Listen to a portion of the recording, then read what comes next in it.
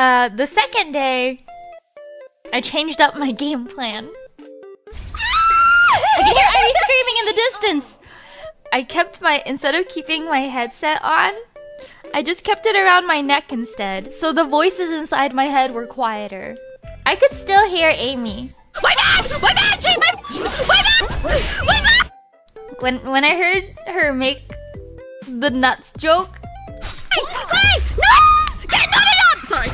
I, I I had a moment where time slowed down, and then I contemplated: Do I do I also do I also make a joke about her? Do, do I do I just shove her nuts in my mouth? Do I shove her nuts in my mouth? But then the other the better part of me was like, Don't say anything, Ember. Don't be weird. But my first thought was, I'm gonna shove your fucking nuts in my mouth.